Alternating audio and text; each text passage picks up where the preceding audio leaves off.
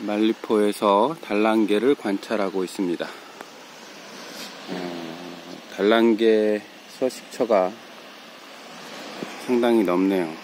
이쪽 데크 휴식 전망대에서 앞쪽으로 해서 지금 달랑개 활동이 시작되고 있는데 달랑개 서식처가 데크에서 저 말리포 데크 쪽까지 쭉 조간대 해안선을 따라서 달랑개 서식처가 형성이 되어 있습니다.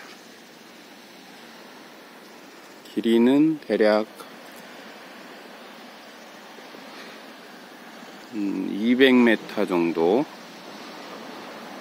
데크까지 포함하면 300m 정도 그리고 폭은 10여 미터 정도가 있습니다. 집중적으로 단란계가 있는 곳은 3m에서 5m 사이.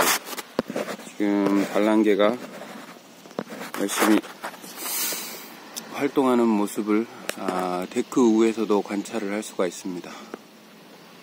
일단 데크 쪽에서 단란계를 관찰을 하면 단란계들이 일단 위협을 느끼지 않기 때문에 아직까지는 활동을 하고 있는 것으로 보입니다.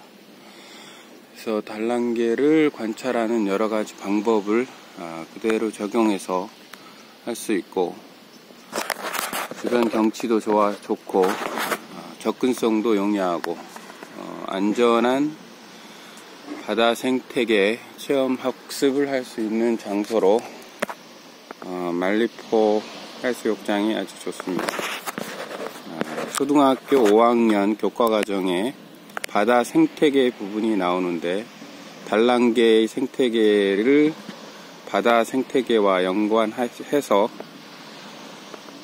자연 학습을 하면 상당히 큰 도움이 될 것 같습니다. 오늘은 휴대폰으로 달랑개 활동하는 모습을 촬영해 볼까 합니다.